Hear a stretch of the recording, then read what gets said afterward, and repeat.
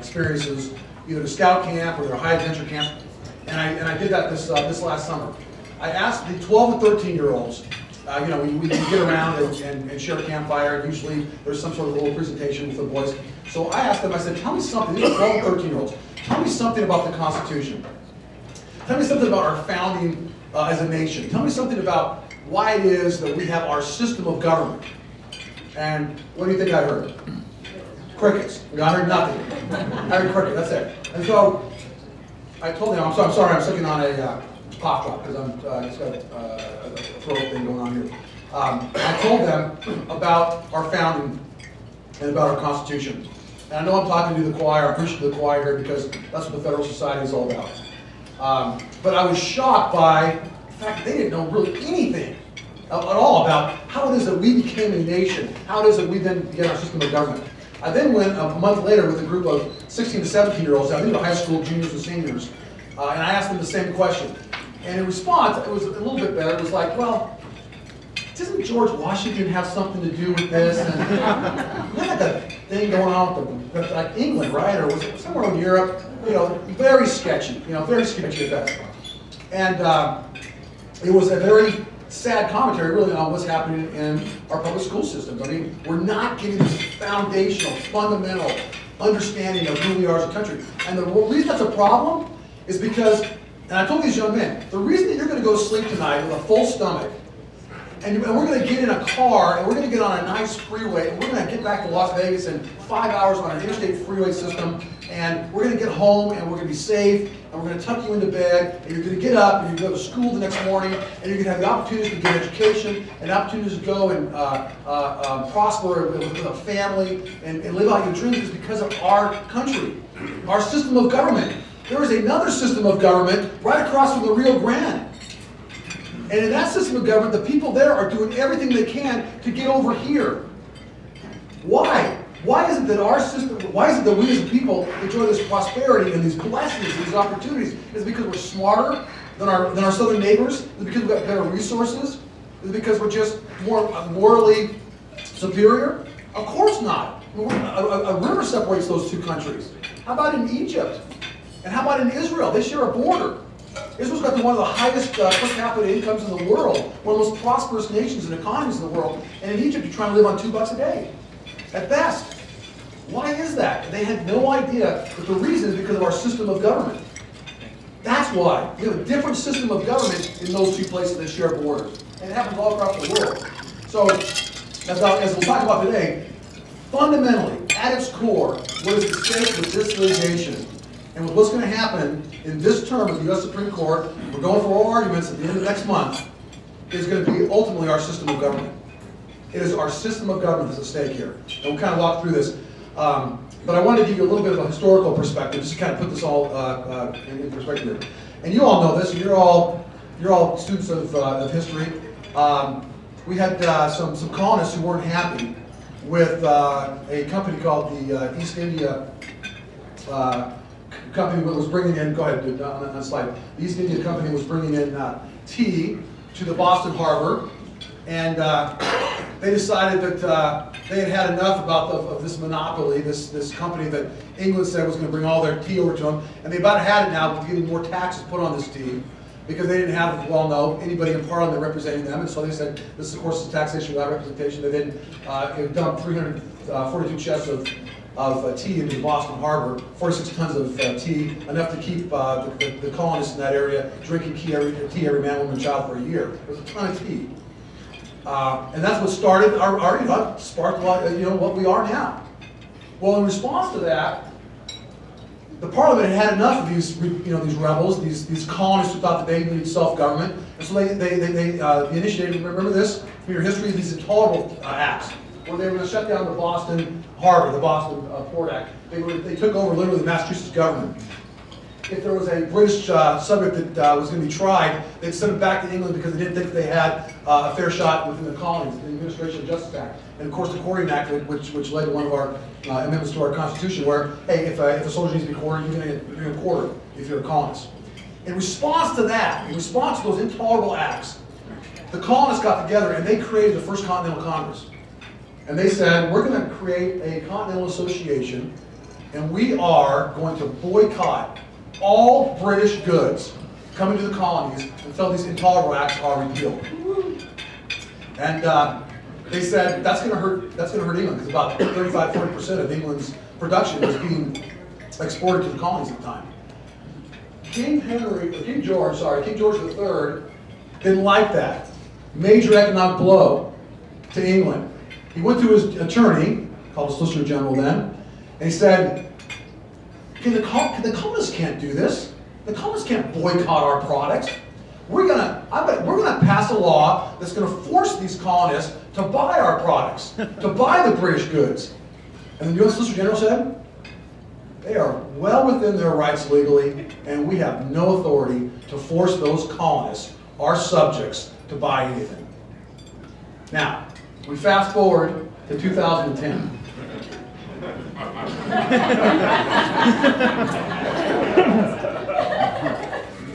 the patient protection and affordable care would do to us as Americans what King George and the Parliament did not do to us when we were their subjects. They forced us to buy a product for the first time in our history. So I'm going to focus on that. that, that that's the individual mandate. I'll talk kind of on the peripheries about what uh, other kind of uh, considerations are going on, but that's but that's the heart of it. And as you know, it's 2,400 pages, massive bill. We'll talk about in just a minute. Remember, Nancy Pelosi saying we got to pass the bill before we know what's in the bill. In the last couple of weeks, we've seen a few things that are in the bill that have got some people upset with First Amendment consideration. We could have another seminar on that. But a lot of senators, of course, signed on to this, not knowing what was in the bill. Now they're feigning, you know, surprise by the fact that their First Amendment uh, uh, rights are being assaulted. No judiciary committee review. Remember, they couldn't do that. They couldn't send it to the Senate or the House and, and have their committee review it for constitutionality. It ran, ran through, compels us to buy product, as well know. Within hours, 14 states challenge. Florida leads and, uh, and, and in Florida State Court, Pensacola Division, uh, before Judge Vinson. And when you go home tonight and you say your prayers, you'll, you'll understand why I say this. But you thank our Father in heaven for Judge Vinson. You just thank him. I'm just telling you, it's one of the people you need to thank tonight. All right. Um, 25 cases have actually challenged uh, the law nationally on various grounds. Uh, some, some, some religiously based, uh, most of them uh, based on, uh, on the individual mandate. Uh, and I'm going to focus on the individual mandate, like I said, and talk about that for, uh, for uh, just the next few minutes. All right, so let me just talk about where we are uh, in the courts of appeal. Uh, let's talk to somebody about this, but you can see, uh, this is kind of a nice graph, you can see who the appointed judges are uh, and, and, and, what their rulings have been. So the, the, the Sixth Circuit was weighed in. You can see the Sixth Circuit uh, was made up at the time of two Republicans and a Democrat on, on, on the, the oral argument panel. And, and the, the, the law was upheld. It was upheld at, at the, uh, at the district court level by a, a Democrat appointed district court judge. And then two Republicans on the court of appeals level were part of that panel, and they upheld the law as well. Judge said, said uh, you know, not every intrusive law is unconstitutionally intrusive law. I'll go into the analysis here in just a minute, um, kind of by way of example on, on what most of these uh, courts did. This lesson, we're going to talk about uh, Gladys uh, Kessler, uh, District Court of Columbia. I'll give you an interesting quote from her. So she, she, again, upheld the law. The D.C. Circuit, again, with two Republicans, a Democrat, upheld the law as well. And uh, it was actually Judge uh, Silberman, you may recall, he's typically a pretty conservative judge. Uh, he said, uh, it seems that this is really more of a political judgment than it is uh, anything that's uh, going to have a problem with constitutional limitations. Fourth Circuit, then, this was the Liberty University case. Once again, the law was upheld. This was a pure Democratic panel on that, and basically talked about the Anti-Injunction Act, viewed this as a tax, which we'll talk about in just a minute. Said he thinks it's a tax under the Anti-Injunction uh, Act, or Anti-Tax Injunction Act. You can't uh, you know, try to stop tax before it actually gets implemented, so you're out of court for that purpose. Fourth Circuit um, then also considered a very uh, prominent case in Virginia. Uh, Henry Hudson was a Republican. Had struck down the law as unconstitutional. He did that before our case, but the Fourth Circuit then, uh, with the Democratic panel, upheld it, and basically they'll upheld it on a standing issue. And said that Virginia was not didn't have a stake uh, in the fight because they didn't have standing. Uh, they didn't have the state individual mandate issue. That's really an individual. Uh, and interestingly, Virginia decided to go it alone. They decided not to join the other 26 states ultimately. First, we started out with 14 states. After the 2010 election, you know, a few more states joined in, and then uh, now we're at, uh, we're 26 states. Uh, but Virginia never joined us because they wanted to go alone. And they wanted to do it because they had a state law that was passed before the healthcare legislation was passed. But while it was being debated, Virginia passed a law in their legislature saying, if any Virginian is compelled to buy a insurance product by any law, anywhere on the planet, it's hereby declared void, against public policy and unconstitutional. And so they, they, they rode that horse to the Supreme Court, and, or to the, uh, to the appellate court. The appellate court said, you're out on standing. Fortunately, we had, uh, in our case, we had not only 26 states, we had uh, uh, two individuals plus the uh, Federation of Independent Businesses for associational standing as well, which is why, and and this is the only case that's been accepted by uh, the US Supreme Court, our case. All the other cases are just out there. They didn't accept cert on any of these- on any any of these other cases. We've got standing, we think, really summed up, got 26 states, we've got the Federation Association standing, and then we've got uh, individuals who actually are business owners who do not want to purchase uh, health insurance. And so we think we- we're, we're fine on standing and don't have a problem. And then uh, Roger Roger Vinson struck down the law as unconstitutional. We'll see uh, his reasoning on that. And then a split panel here with the 11th Circuit was great. We went to Atlanta. We picked up a clean appointee, Frank Hull, who along with uh, Chief Judge uh, Dubina, uh, decided that uh, Judge Vinson was correct and said the law is unconstitutional and and affirmed it. Now, there's going to be a slight difference, not slight difference, there's a big difference between those two opinions. Judge uh, Vinson said uh, it's unseverable. The individual mandate is unconstitutional and it's not severable. The whole law falls. Eleventh Circuit said, yeah, you know, we give a little more political deference to Congress. We're gonna let the rest of the law stand. We'll just strike down the individual mandate, which of course drives the insurance companies crazy because how are we gonna pay for all this, you know, pre-existing conditions and, you know, uh, all the, uh, all the benefits under the, uh, under the uh, law without a way to, to fund them? And so that's where we are right now. And- and With, with what's before the court right now, the Eleventh Circuit has struck down the individual mandate, individual mandate and said the rest of the provisions can, can stand, which as I said, and that's, if nothing else changes, all of our, all of our premiums are gonna go, you know, ten thousand percent, you know, to cover those kind of benefits under the plan without the individual mandate. Okay. So, uh, I'm gonna talk primarily about the, uh, individual mandate, as I mentioned, but there are really four issues that the court's gonna address. That, the- first issue really is, uh, is, is, is this a, is this, is this tax a penalty? I'm gonna give you some analysis on that from Judge Vinson in just a little while. But if it's a penalty, if, if, if the penalty's a tax, if in fact you decide not to buy insurance, that the government says you've got to buy with this, with the details and the, and the benefits and the characteristics that the government says you have to have now as an American citizen in your health insurance plan. If you choose not to do that, you have to pay a penalty. The question is whether that penalty is a tax. If it's a tax, then under the, uh, uh, the uh, Anti-Injunction Act, you, you know, you're not even going to be able to have a case until, until uh, 2014, which is when the tax will first be imposed. Um, Nobody, I think maybe it was, uh, the, the Fourth Circuit, part of that Fourth Circuit decision, no other court had said it was a tax. I think you'll see why with some of the, some of the quotes that I'll, I'll give you here. If it's not a tax, then you gotta, you gotta ask yourself, all right, is the individual mandate unconstitutional? And then the other challenge is, is this expansion of Medicaid coercive? This was our, this is the state's Tenth Amendment argument. We're saying, look, we're states, right? We got sovereign rights. We're run a federal system of government here. The federal government cannot come down and hand down these edicts and say, which is exactly what the law says, you've gotta have a certain level of Medicaid funding. In Nevada, it means our Medicaid rolls double overnight. They will double. They'll be about, the, the, the, the conservative estimate is about $550 million impact on our budget, our state budget, over the first four years of this law because of the huge expansion of Medicaid. And what we argued to the, court was, this is coercion, and under Supreme Court precedent, the Supreme Court says, you, you know, federal government can, can, can, can hand out or uh, incentives, but they can't be coercive. We argued this clock across the line because you're requiring us to double our Medicaid rolls and take away all of our Medicaid funding as a state if we don't do it. So their argument always is, well, you know, you can always opt out, opt out of Medicaid. Well, they give us all of our Medicaid money back uh, as a state, but they don't do that. They take all your Medicaid money and they say, well, if you don't like this program, you can always opt out, which of course is absolutely impractical and crazy as, as a state. Um, it's, it's uh, of course, one of the largest uh, expenditures the states have. The other question they're going to ask is, uh, and by the way, we didn't win this one uh, with either Judge Vinson or with the Circuit. They both said, you know, there's a lot of things the federal government can do in encouraging states to do things. We don't think this crosses the line. So we've actually taken this up on appeal and asked the Supreme Court to, to reverse those, those decisions. The individual mandate is constitutional, and uh, uh, if it is in fact unconstitutional, then you got to decide what's, what, what, what, survives and what doesn't. The severability question. So those are the four points before, uh, before the Supreme Court. All right, so let's just uh, focus on, uh, for a minute, on the individual mandate. Uh, this has not been the first time. There's been about six efforts by the federal government since World War I to create a federal national healthcare system. Uh, and it wasn't until the Clinton administration that the federal government tried to do that by way of the individual mandate to require everybody to buy health insurance. So this started during the Clinton administration. You remember when uh, Hillary Clinton was so involved in that whole effort. Um, and this is a this is a memo then from the nonpartisan Congressional Budget Office back then when it was being proposed, this individual mandate to cover health insurance for everybody. And this is a nonpartisan approach to this. A mandate requiring all individuals, all individuals to purchase health insurance would be unprecedented form of federal action. That's never happened before, by everybody's account.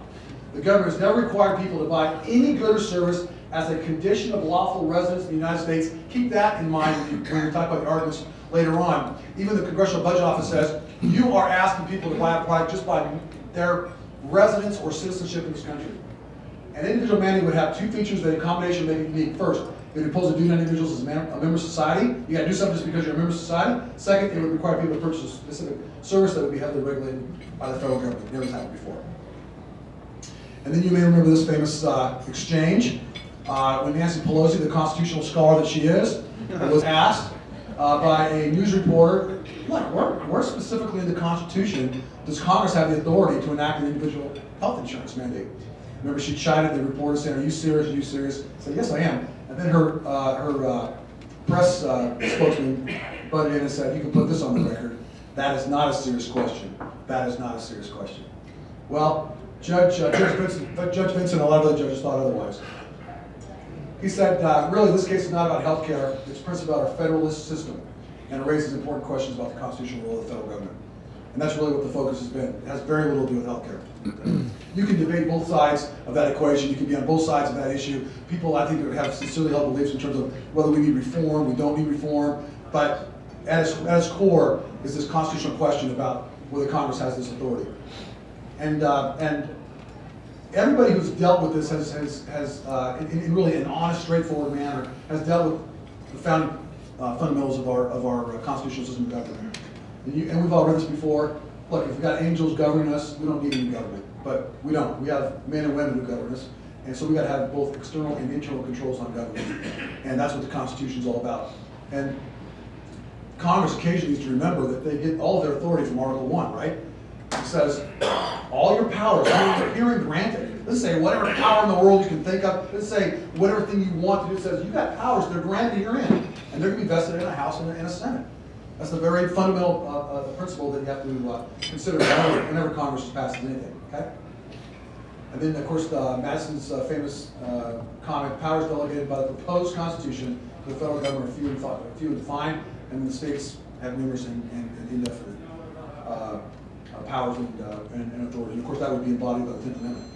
And then one of the, one of the famous cases that we always studied in law school, that those limits may, be, may not be mistaken or forgotten, the Constitution is written. And so when you have this attitude in Congress that we don't have to look at the Constitution and oh, you're just showboating when you want to read the Constitution, it is a complete fundamental misapprehension of our, uh, of our founding uh, as a country uh, to take that approach, which is so prevalent today. Okay, next. So Nancy Pelosi had to, had to come up with a reason, you know, so, so she sends her secretary, her press secretary back out and says, uh, okay, well, let me, let me answer that question for you. Our power, our authority is under the Commerce Clause. So that's, that's the horse they're riding. That's the horse that they're riding. We're riding the Commerce Clause. Look, we can point to the Commerce Clause, and Congress shall have power to regulate commerce among the several states. That's the horse we're riding. And that's the horse they've been riding ever since we've been in court.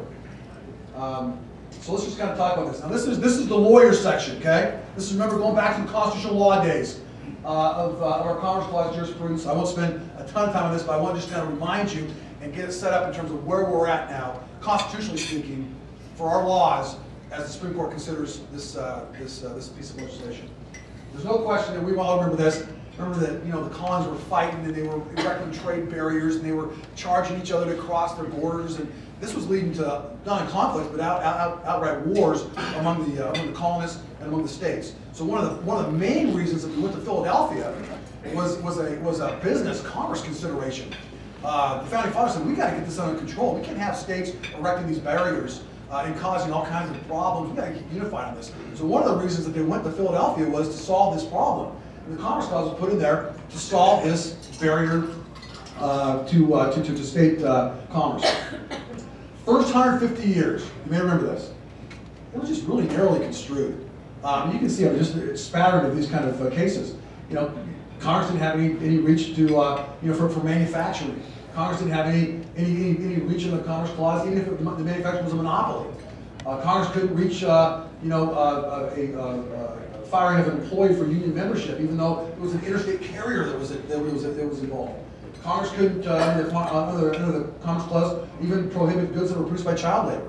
Congress couldn't, you know, extend regulations of wages and hour and conditions for coal miners, even though uh, they, they could clearly uh, worked and, and, and affected uh, business across uh, state lines. So it's very narrowly construed for the, fir- for the first 150 years. Then FDR's elected, and everything changes with FDR. Pretty much, you can you, can- you can you can pretty much track back to FDR uh, a lot of our challenges with our constitutional uh, system right now. Three new bill cases. So, as we all know, FDR and uh, the Congress created uh, an awful lot of legislation in the Depression, and he was going to ensure that the Supreme Court was going to ensure that those uh, that legislation was upheld. And this then is where you begin to see the substantial effects or substantial impact uh, language by the Supreme Court. So the Supreme Court now, in the Laughlin Steel case said, you can regulate even purely interstate, just in-state uh, activities if it has a substantial effect on interstate commerce. That was the first big leap in 37 under that case. Uh, the, the Darby case, same sort of thing. Now we can now we can we can regulate wage and hour laws because it has this substantial impact. And this is always the famous case that we study in, in law school. Remember that Wickard Wickard versus Filburn case? Remember poor, uh, you know, poor uh, farmer uh, Filburn. All he wanted to do was grow a little wheat for his farm, and uh, and FDR and the administration was concerned about wheat prices, and so they put a limit on every farmer in the country as to how much wheat you could grow. And, uh, and it was the Agricultural Adjustment Act of, of 1938. Well, Mr. Filburn, Farmer Filburn, uh, had 12 acres. And, and he grew his 12 acres of, of wheat. And then next to it, he grew some more acreage just for his own farm use. He fed it to his chickens and his pigs, and his wife baked bread with it, and they would, you know, use it for their own consumption. They didn't sell it, anything, just on the farm. Well, he was then uh, penalized under that act. He, uh, he appeals it, and the Supreme Court then says, no, this will have a substantial, you growing this wheat for your own personal consumption will have a substantial effect on interstate commerce because this is when the aggregate principle now was, was, was, was invoked. Taken together, if everybody across the country does this, it's going to have a substantial impact on interstate commerce. So we can regulate you. We can keep you from growing an acre or two on your farm for your own private consumption under the Commerce Clause. And uh, from that point forward, actually from uh, Laughlin Steel forward, it was not until 1995 that the Supreme Court would strike down a law that Congress passed under the Commerce Clause because it had exceeded its authority. Then comes United States versus Lopez. This was the uh, Gun-Free Zone Act of 1990. This is basically a law that says, good idea, you can't carry a gun within a thousand feet of a school zone. Lopez is convicted of that. He appeals it, says this is, this is beyond the Commerce Clause uh, authority of Congress because that's what they used in order to pass the law. And for the first time in 60 years, the U.S. Supreme Court strikes it down and says, yeah, this is too much. And it is significant uh, because of the language and, and, and, some of the facts in the case that they conceded to recognize. They said, look, all the Commerce Clause decisions have some outer limit. It's not, it's not limitless. Um, you could, if, if you don't have some sort of limit, you would just obliterate the, obliterate the, obliterate the distinction between national, local, and create a completely centralized government. And they conceded, hey, we concede gun violence is a national problem. You're gonna hear these kind of arguments again with the healthcare uh, legislation. It's a national problem. It can have an adverse effect in the classroom. It's gonna decrease productivity. It's gonna discourage travel into areas that are unsafe. And it's a substantial threat to interstate commerce. They recognize all that. They conceded it. They said, but if, if, if, if that were accepted as why we could regulate, then it's difficult to perceive any limit on federal power. For the first time, the courts begin to say, we do have a constitutional system of government here. You know, and there are limits to what the federal government can do. We have to recognize those. And if we're not careful, the Commerce Clause is going to swallow everything. We're hard pressed to posit any activity by an individual that Congress is without power to regulate if we let him do this. So, Lopez strikes back finally. If you're gonna, if you're gonna, if you're gonna accept the argument, you have to pile inference upon inference. They convert congressional authority to the Commerce Clause to basically general police power, which is always the state enjoyed, to, to protect their health, safety, and welfare of their, of their citizens. It's always what the states had. We would convert that to a general police power. Admittedly, some of our prior, admittedly, some of our prior cases have taken long steps down that road, giving great deference to congressional action. The broad language in these opinions suggests the possibility of additional expansion. But we decline here to proceed any further, thank heaven. And if I put the brakes on this thing, to do so requires to conclude that the Constitution's enumerated powers did not presuppose something not enumerated, and that there never will be a distinction between what is truly national and was true local. This we are unwilling to do. The people were, conservatives were happy about this decision. And they were happy about the next decision, which came out. Well, yeah, before I get there, let me go to, let me go to, who's gonna, what, what, what's the answer to this question? You all know the answer, right? Kennedy's gonna, right? Kennedy's the swing. You got, in this, in this Supreme Court environment, you've got Scalia, Thomas, Roberts, and Alito. Those are four. And how many do you have to count to when you go to the Supreme Court? Five. You gotta get one more. And the only chance you got is Kennedy. Concurring in Lopez, this is what Kennedy says. It is the duty of the court to recognize meaningful limits on the Congress power and to intervene if Congress has tipped the scales too far, as federal balance is too essential a part of our constitutional structure and plays too vital a role in securing freedom. That's the purpose of our constitutional form of government. Our founding fathers said a long time ago, if you want an efficient government, we already have efficient government. His name's King George III. It's a great efficient government. You want a dictator, you want a king, you want a tyrant, you want a dictator. Those are very efficient forms of government. We don't want them. What we want is freedom. We want liberty. We want to curtail the power of government. So we're establishing a different, and experimental system of government now, and we're dividing powers horizontally and vertically. Three separations of the, of, of the separations of power and, and, and, and, uh, and vertically with the states and the federal government. And that's basically said, they said, this system plays two vital roles in securing our freedoms. So when somebody says, as I told my scouts this summer, when somebody stands up on national television and tells you that they want to fundamentally change our system of government, you better step back and you better take a long and hard look at that because that system of government has established and guaranteed our freedoms for over 200 years, and it's what allows you all to have the opportunities and blessings of going home tonight and living in uh, comfortable surroundings and having a full belly.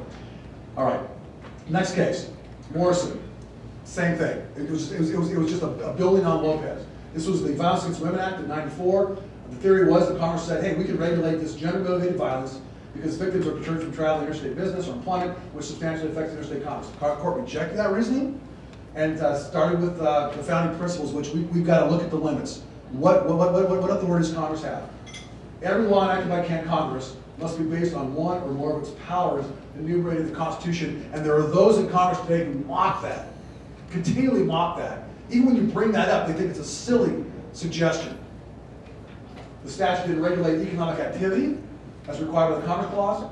Gender-motivated crimes of violence are not, in any sense of the phrase, economic activity. Thus, far in our nation's history, our cases have upheld Commerce Clause regulations of interstate activity only where there's activity is economic in nature. And the court had to file inference on inference, which it said it wasn't willing to do, and uh, we completely obliterate national and local authority. So we're all feeling pretty good after Lopez and, and Morrison finally, you know, some, some sanity coming back to the court. Uh, and then a very strange case comes down called Gonzales versus Raich in uh, 2005. You may remember this case. This is where California passed their medical marijuana statute, which allowed you to grow marijuana for, for your own use, your own home consumption, so to speak. And, uh, and uh, Gonzalez was, was, was convicted uh, under the federal, the, the Controlled Substance Act of 1970 and said uh, this is this is outside of Congress's authority. Not only that, I'm, I'm, I'm consistent with state law because state law allows this, uh, and and the uh, and, and, and, and I never I buy it and sell it, never cross state line. I just grow it here in my little you know greenhouse that I then harvest and I smoke it because I, I can I can get some relief for that. Court said uh, our case law firmly establishes Congress's power to regulate purely local activities as part of an economic class of activities that have a substantial effect on interstate commerce. And the court went back to Wickard in a lot of ways. Production of the commodity meant for home consumption, be it wheat or marijuana, has a substantial effect on supply and demand in the national market for that commodity. So that's where we are. Now that, that's, that's the state of the law right now. That's what the Supreme Court has. So of course, you know what we're emphasizing, the states. I mean, look at it. Lopez and Morrison makes this case easy, right? Uh, and of course, the federal government say, "We'll take a look at Wickard and Raich." It's clearly within our within our wheelhouse. We clearly have this authority. And Judge uh, Vinson uh, said, "You know, that's that's not really the way I look at it." He said, "While these cases frame the analysis, and it's good to look at it from a historical perspective, it doesn't really uh, in the question. He says because everybody associated with Congress who's uh, impartial has advised them that the act was, before passed into law, that uh, this idea of, under the Commerce Clause, directly imposing an individual mandate to purchase health care insurance is novel and unprecedented. Essentially, Judge Vinson said, we've never had this happen before in our nation's history. So while it's guidance, uh, it's not dispositive at, at, at any level. So, let me just, let me just walk you through uh, what, what, what what the judge did. You doing okay, time? Okay. Um, so, you're gonna let me, let me- this, this is kind of takes us through, you know, Congress never, never required this before. The individual mandate is different from Wickard and Raich, he's distinguished in those cases, because the individual, this will be very important in terms of what he's gonna rule and, and what the question for the court is. Because the individuals being regulated in those cases were engaged in, in, in- in an activity. And each had the choice to discontinue that activity and avoid penalty. Every every prior Congress, uh, Commerce Clause place had a clear and inarguable activity. This is great. He said, look, it'd just be a radical departure from existing case law if you said Congress can regulate inactivity. And the way he characterized it was to say, this is not activity. You're not, you're not growing wheat. You're not growing marijuana. You're not, um, you know, you're not, you're not, uh, you're not, you're not selling goods. You're not manufacturing goods. You are simply being a citizen, a member of society. And the government is imposing upon you now an obligation to go buy something. That's never happened before. That's not activity. That's just, that's regular inactivity. I don't want to do anything. And they said, which I thought was great, this is one of the great lines of his opinion, I think one of the great lines of all times. It is difficult to imagine that a nation which began, at least in part, as the result of opposition to a British mandate giving the East India Company a monopoly and imposing a nominal tax on all tea sold in America, would have set out to create a government with the power to force people to buy tea in the first place. Do you love Judge Vinson? I mean, you just gotta go home and just thank our God in heaven every night that you have people who are still thinking this way. If Congress can penalize a passive individual for failing to engage in commerce, the enumeration of powers in the Constitution would have been in vain, for it would be difficult to perceive any limitation on federal power, and we would have a Constitution name only. Surely, this is not what the Founding Fathers could have intended. Now, just very quickly on the severability analysis, he said, there was a severability clause, and you'll appreciate this from your legal training, there initially was a severability clause uh, in the, in the act. But then the final version, it was out, it had been taken out and removed by Congress. So, the judge went through a long, a long analysis, but he says basically, the individual mandate is indisputably necessary to the act's insurance market reform. The Congress has said that, everybody said it, the reason we've got to have this individual mandate is to fund this national health care.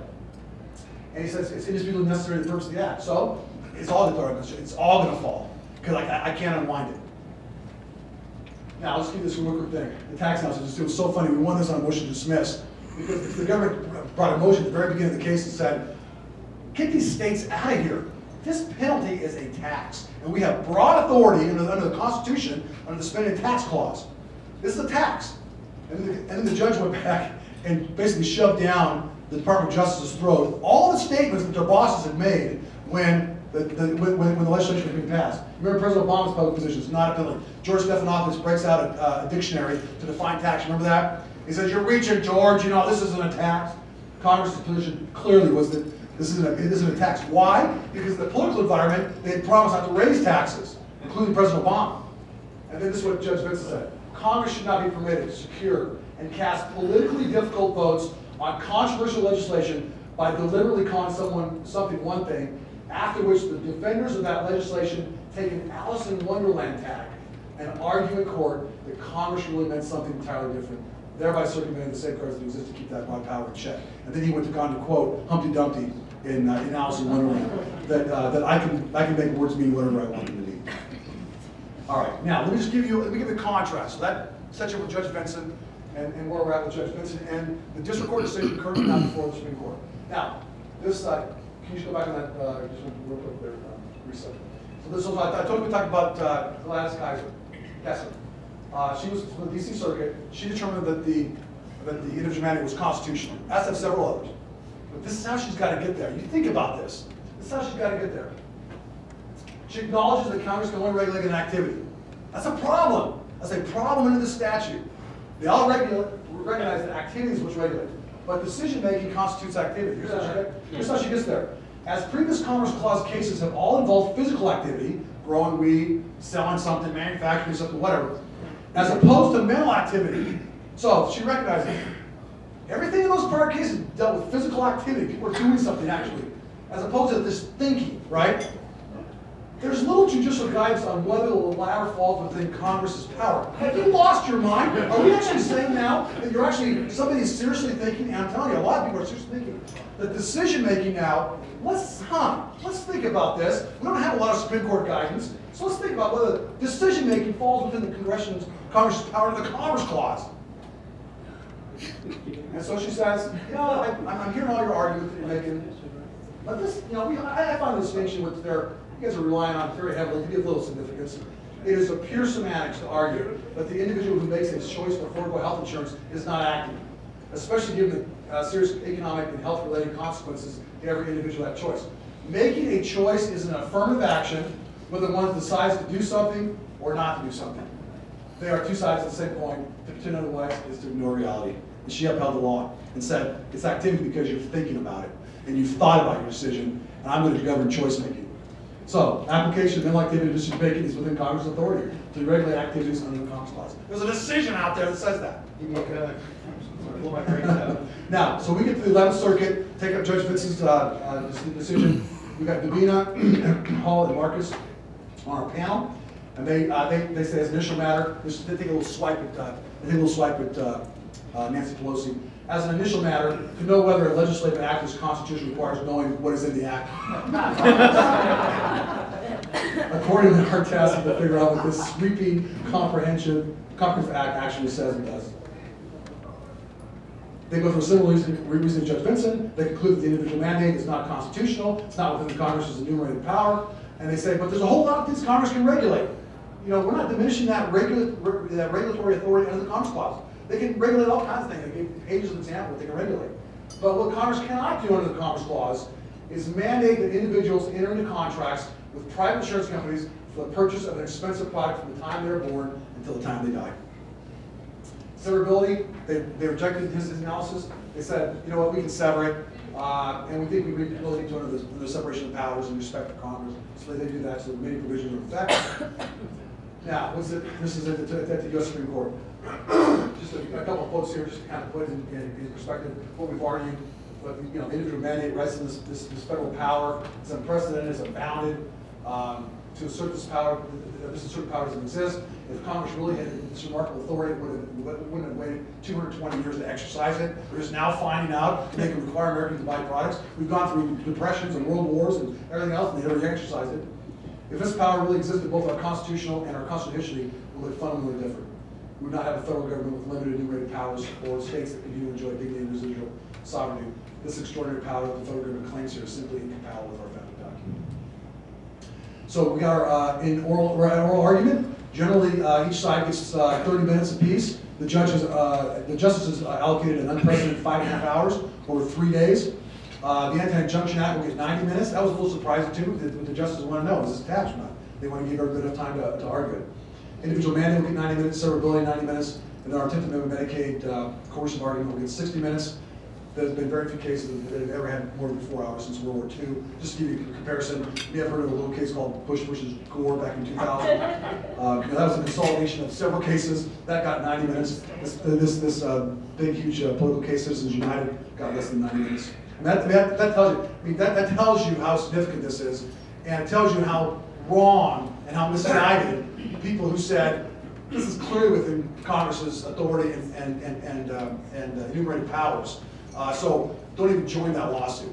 You know, that was, that, was, that, that, that, was, that was a little echoing of our Attorney General at the time when Jim Gibbons asked her, hey, join this lawsuit. Are you kidding me? This is clearly constitutional, clearly within Congress's authority. I mean, it basically would be a frivolous lawsuit for me to join this, you know? In essence, what she was saying. Five and a half hours, unprecedented oral argument time before the Supreme Court to deal with this, case that really warning his attention. So I'll also leave with this, one of my favorite quotes from uh, Ronald Reagan, who made this when there was another effort to, uh, uh, to uh, roll out some, uh, some healthcare issues. He said, freedom is never more than one generation away from extinction. We didn't pass it on to our children in the bloodstream. It must be fought for, protected, and handed on for them to do the same. Or one day, we will spend our sunset years telling our children and our children's children what it was once like to live in the United States, where men were free. Thanks very much.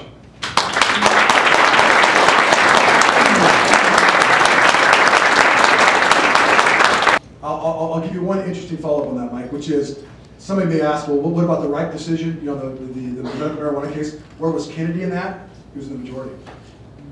So, it was, it was, but, but, but, but he didn't author a concurrent opinion, which is why we, uh, we like, uh, you know, we like his, his concurrent opinion in Lopez, but, yeah, just like Niall's saying, I mean, he's the swing, you know, he's gonna be the swing. We gotta, we gotta get him, we hope he's, we hope he's more Lopez than he is Raich, you know? Yeah, uh, Randy Barnett spoke at the law school last year. He said that he thought a single payer system, he thought he said Yeah. a single payer system would actually be more constitutional than this. Do you agree with it? Uh, a single payer system would be completely constitutional if it was based on our general tax uh, revenue, sure. I mean, uh, yeah, you could, you could have, that's what they do in England, right? Uh, They just have a complete national system, comes out of the general, um, general budget, and that's taxes and spending, and completely constitutional, yep.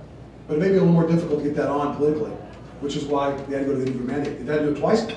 You know, they, like I said, since World War One, there's been six efforts to make a national health care fly. They've been unsuccessful, and now this, these last two go-arounds have been, well, we'll try with the individual mandate now.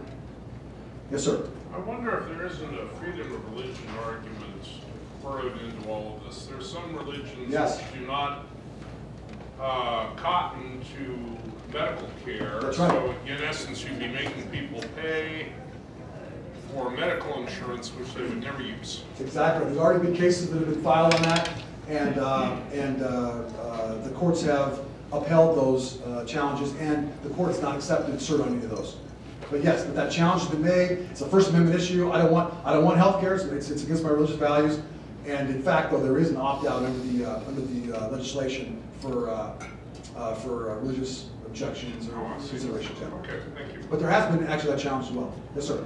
Um, is there, is it part of the briefing anywhere that if you can, rec- there's really not, not, no activity you can do sitting out here and eating big No. plates full of red meat? No, that's right. That, that doesn't fall under the idea of healthcare. No, that's right. Oh, yeah, oh, yeah, that's exactly right. You know, I mean, Congress can regulate that. Congress can regulate how many slices of meat you're gonna eat at lunch. It's just so easy for them to do that. It's gonna, it's gonna affect your healthcare, uh, and, uh, and in the aggregate, if you're under, if you're under a Wickard analysis and a Raich analysis, if you go out and eat all this meat, you know, it's gonna have an impact on healthcare. We're paying for healthcare. It's gonna have an impact on the interstate commerce.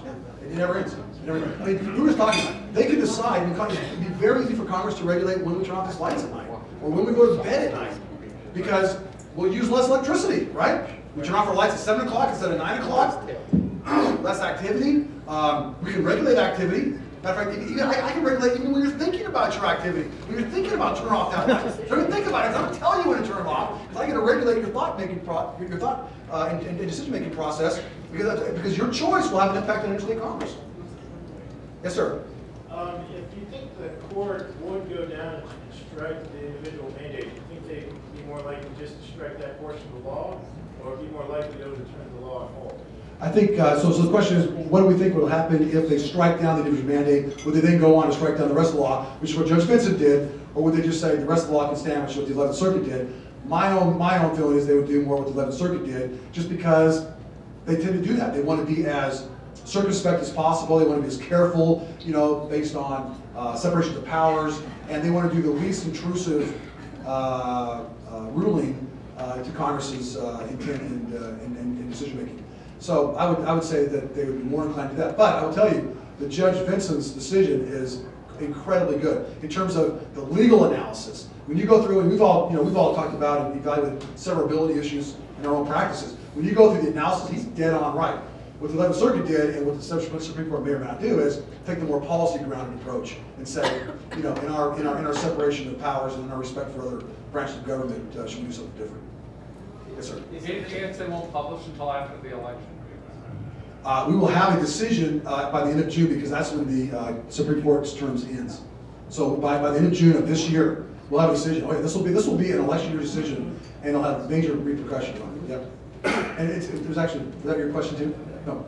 Is the thinking that if only the mandate is struck down, the rest of the law would be so Yeah, unpalatable that yeah. they're forced to overturn it? Right. So the- right. So the thinking is, if in fact the individual mandate is, is, is just struck down and the rest of the provisions remain, that Congress will have to do something. That's exactly right. There, there's just no way that that mammoth law with all of those benefits and all those burdens on the insurance companies and on uh, everybody else will uh, will stand. It's just because the, then- now you got to find a way to to, uh, to uh, pay for it. If you don't spread it out over a bunch of healthy people and take care of all the sick people, uh, you can't do it. Yep, other questions? Perfect. What, what do you think about the political and legal ramifications of what's been in the news lately with the birth control, Right. and religious-based arguments? Great question. You know, what, uh, you know, what's uh, kind of the view here on this uh, First Amendment um, pushback uh, based on the uh, healthcare legis- legislation? First, I think it is a direct result of passing the law to know what's in the law. Uh, You got a lot of uh, senators and- and and, uh, congressmen now who are feigning surprise. uh, Wow, I had no idea that was the law. Well, no kidding, you didn't read the act. And now your constituents are up in arms, and now you're in trouble because you supported the act, because you didn't read what was in the act. So point one is, you, you know, if you're a politician, you probably ought to read an act before you, before you sign on to it, or at least have a summary, or something, you know, something you know what's in the act. But secondly, I think people really begin to understand that this is a massive uh, encroachment on our, on our freedoms, and our individual rights. The Constitution is created, was created, our founding fathers were so fore- foresight, they're way ahead of their time to keep liberty and freedom at its, uh, at its apex in our system of government, we have to divide and conquer government. And, uh, and I think people are beginning to see now this encroachment on our First Amendment rights. You know, we never intended our government to be able to do that. Uh, the encroachment on our, on our, on our decisions and the most intimate, private, uh, issues in our lives. We never intended the government to, to do that. And as we let the government creep in and we let the centralized, huge, uh, efficient government uh, do the job for us, that's exactly what happens. You know, it's exactly what happens. We've got dictators and kings and tyrants ruling you. Wonderful system of government. Things get done, trains run on time, uh, but this is, you know, the poor people have uh, have their rights trampled. Okay, thank you very much.